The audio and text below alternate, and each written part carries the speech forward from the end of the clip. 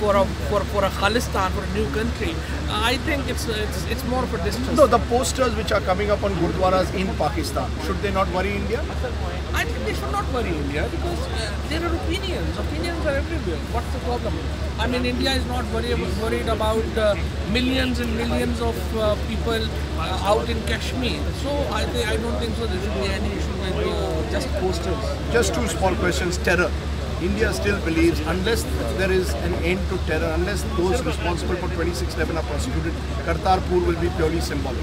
How do you initiate a dialogue without dealing with the culprits of 2611?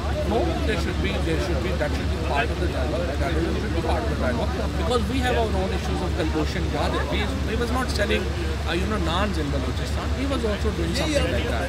So Pakistan has also issues of the issue. Uh, Pakistan believes that India is involved in terrorism in Pakistan, and why not? That's a very, very important issue that needs to be discussed.